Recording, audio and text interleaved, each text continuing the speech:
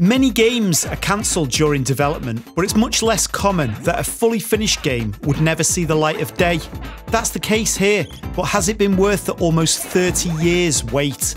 I'm Kutski, and this is my review of Clockwork Aquario for Nintendo Switch. Get ready!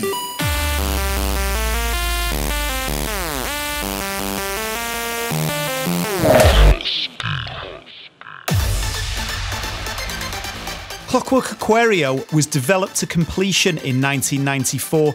However, due to the rise of popularity of 3D gaming in the arcades by the mid 90s, the game was cancelled.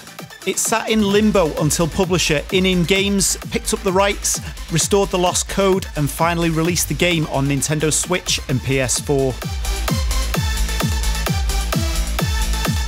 Clockwork Aquario is a two player side scrolling platform game with big and colourful sprite based graphics. The story is the classic evil doctors trying to take over the world, and it's up to our trio of playable heroes to save the day.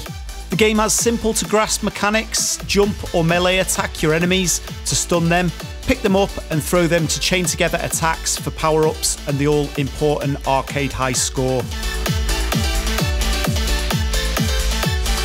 Gameplay isn't revolutionary, but it's fun and addictive to play.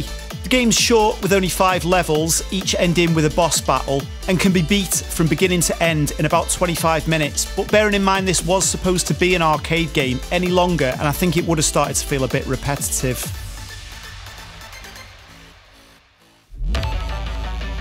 The additional features on this release are very cool though. My problem with home ports of arcade games is obviously I want unlimited credits to be able to finish those money hungry games that I loved as a kid.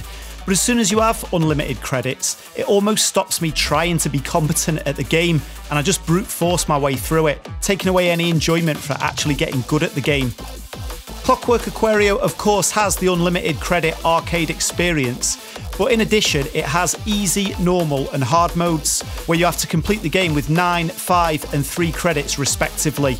Completing any of these versions, including the truncated training mode, unlocks the arcade mode.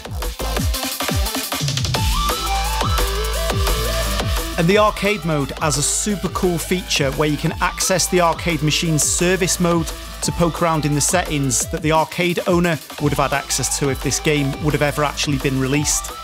This includes pretty redundant options like memory tests, system displays, bookkeeping records, and some more useful ones such as changing the dip switch settings to change the game parameters.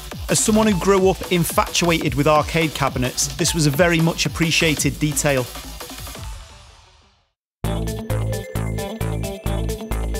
It saddens me that such a cool game like this never got released despite being completed. I think its sprite based pixel art and chiptune esque soundtrack have aged much better than some of the ugly early 3D games that caused its cancellation. But thinking about the arcade games that I was obsessed with as a 10 year old at the time, it was games like Virtua Cop, Sega Rally, Ridge Racer, so it was probably a difficult but smart move by the original publisher Sega.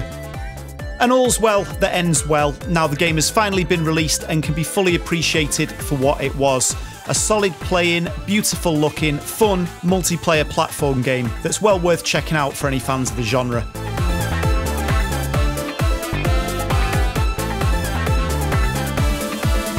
Hope you've enjoyed this review and found it helpful. If so, please drop a like on the video and subscribe to the channel to keep up to date with new videos. And let me know in the comments what arcade games you were playing back in the 90s. And if you weren't born back in the 90s, feel free to let me know that in the comments as well so I can feel old. Thanks for watching. Until next time, this is Kutski signing out, keeping the games alive.